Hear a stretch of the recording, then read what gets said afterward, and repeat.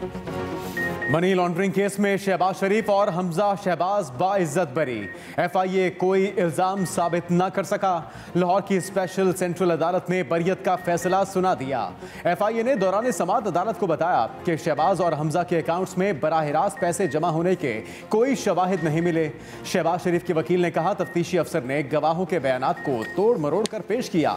शहबाज शरीफ के खिलाफ नवंबर 2020 में 16 अरब की मनी लॉन्ड्रिंग का मुकदमा दर्ज हुआ था।